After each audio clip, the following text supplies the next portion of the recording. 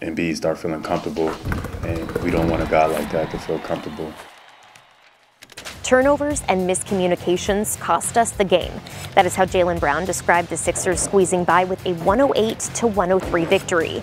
Now, the frustrating part is the Celtics had an opportunity to close it out down the stretch, but Philly took advantage as they proved to be the more physical team and were also accompanied by Joel Embiid, who finished with a game high 40 points. We started out with the with the game plan that we wanted to, you know, guard him one on one with heavy digs, and he he just took advantage of those matchups. We didn't do, I guess, a good enough job of, of helping in this and helping our bigs down there um, Embiid start feeling comfortable. And we don't want a guy like that to feel comfortable. Our rotations were kind of slow behind that. We were pretty much going to take the ball out of his hands. No, had caused a few turnovers prior plays, and the one that really stands out and hurts is the Danny Green three up top. Um, you know, we got it out of his hands, and this the rotation wasn't as sharp as it needed to be behind it, especially on some of the shooters. Tonight it's unfortunate that we couldn't pull it out.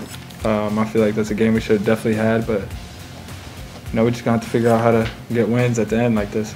Now the Celtics have one game left in their five-game homestand, and they'll look to get back on track when they host the Cleveland Cavaliers on Wednesday night.